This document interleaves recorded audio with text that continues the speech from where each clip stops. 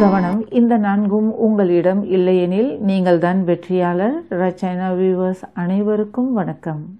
வாழ்க்கையில் வெற்றி அடைய சில பழக்க வழக்கங்களை நாம் தவிர்க்க வேண்டி உள்ளது முதலாவதாக கோபப்படுவது எதற்கெடுத்தாலும் கோபப்படுபவரா நீங்கள்? கோபம் உங்கள் வெற்றியை வீழ்த்திவிடும். மேலும் கோபம் உங்கள் உடல் நலத்தை பாதிப்பதோடு மனதையும் அலைக்கழித்து விடும் எப்படிப்பட்ட சூழ்நிலையாக இருந்தாலும் கோபத்திற்கு அடிமையாகி விடாதீர்கள். முடிந்தவரை கோபத்தை தவிர்த்து விடுவது எல்லோருக்குமே நல்லது. அடுத்து சந்தேகம். சந்தேகமும் மிக மோசமான ஒன்றே. சந்தேகத்துடன் யாரையும் பார்க்கக்கூடாது. அது மட்டுமின்றி ஒரு செயலில் ஈடுபடும் பொழுது அதில் வெற்றி பெறுவோமா மாட்டோமா என்ற சந்தேகத்துடன் ஈடுபடும் பொழுது கண்டிப்பாக அது தோல்வியில்தான் முடியும்.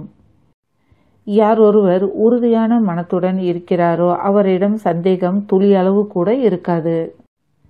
நாம் நம்பிக்கையுடன் இருந்தோமானால் அதுவே நமக்கு மிகப்பெரிய வெற்றியை கொடுக்கும். அடுத்ததாக கவலைப்படுவது கவனம் கவலை உங்கள் உடல் நலத்தை பாதிப்பதோடு ஆயுளையும் குறைத்துவிடும்.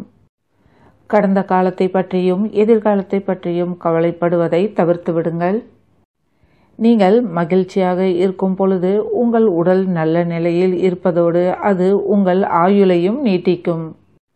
கூடுமான வரை கவலையை தூக்கி எறிந்துவிட்டு சந்தோஷமாக இருக்க முயற்சி செய்யுங்கள். சந்தோஷமான சூழ்நிலையில் நீங்கள் செய்யும் எந்த ஒரு செயலும் கண்டிப்பாக உங்களுக்கு வெற்றியை மட்டுமே தரும். மேலும் வெற்றியாளருக்கு கவலைப்பட நேரமே இருக்காது. அப்படியே அவர்கள் தோற்றாலும் உற்சாகத்தோடு அடுத்த செயலில் ஈடுபட துவங்கி விடுவார்கள்.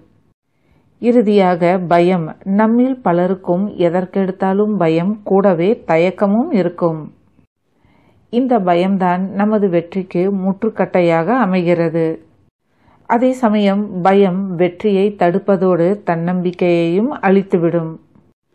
சதா எதிர்காலத்தை நினைத்து பயந்து கொண்டிருப்பவர்கள் நிகழ்காலத்து சந்தோஷத்தை இழந்து விடுகின்றனர்.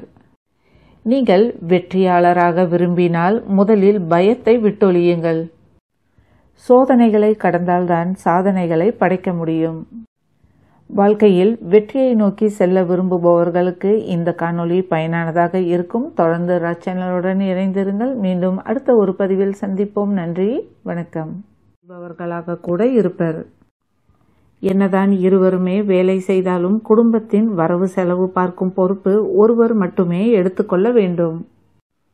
காரணம் சில குடும்பங்களில் பெண்கள் சிக்கனமாக இருப்பர். வேறு சில குடும்பங்களில் பெண்களை விட ஆண்கள் வீண் செலவுகள் செய்யாதவர்களாக இருப்பார்கள்.